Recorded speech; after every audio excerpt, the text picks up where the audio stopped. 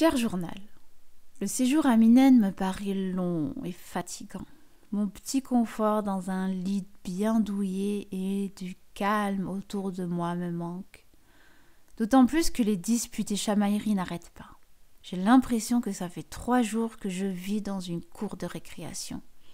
Bon, j'exagère un peu, ou peut-être que c'est la fatigue qui parle, mais je t'avoue qu'un peu de calme et repos ne sont pas de refus. Malgré le peu de confort, les distractions ne manquent pas. Téléphone, discussions sans fin, discussions futiles, achats, disputes. Alors que ces jours bénis devraient être pour Allah seul. Pour nourrir et purifier ma propre âme, je me surprends à divaguer.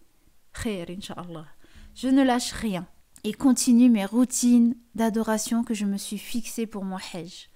Invocation, Qur'an, Dua, Zikr, sourire, être au service des autres pèlerins.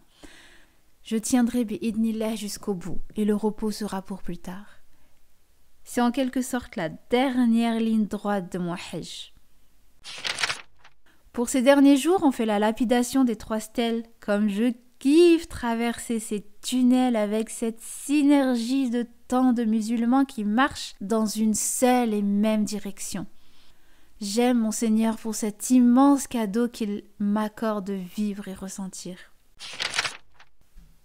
Aujourd'hui, j'ai lapidé les trois stèles, en commençant par lapider la petite stèle, sept fois, puis je me suis retirée pour invoquer mon Seigneur. Ensuite, j'ai lapidé la stèle du milieu sept fois et invoqué mon Seigneur, pour finir par lapider la grande stèle sept fois. De retour encore sous ma tente à pour encore et encore invoquer mon Créateur. N'est-ce pas le but de ce Hajj? J'ai beaucoup aimé me créer ma bulle spirituelle où je peux me connecter en liaison directe avec mon Créateur. Je suis fatiguée, épuisée, mais en même temps j'aimerais que ce séjour perdure.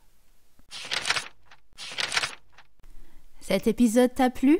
Partage-le et pour en apprendre encore plus sur la Umrah et le Hajj, rejoins le programme Destination Mecca des futurs Hajjettes qui t'explique en profondeur comment faire de ton pèlerinage un voyage exceptionnel.